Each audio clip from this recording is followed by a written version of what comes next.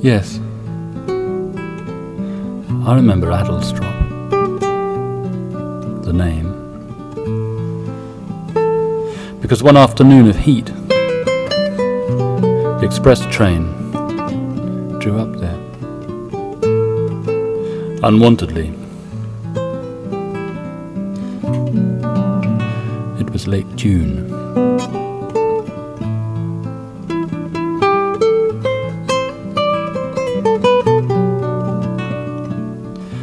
The steam hissed, and someone cleared his throat. And no one left, and no one came.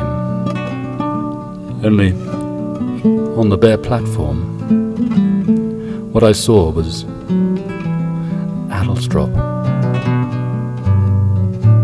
Only the name.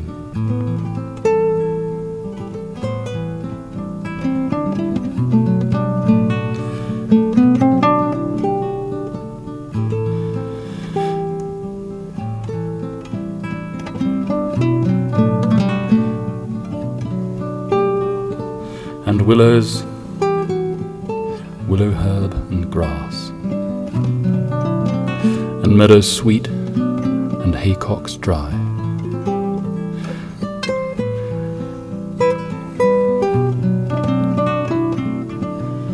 No whit less still and lonely fair than the high cloudlets in the sky.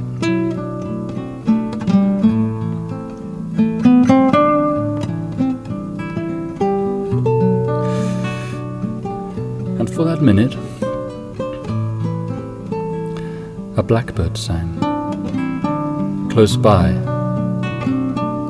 and round him, mistier,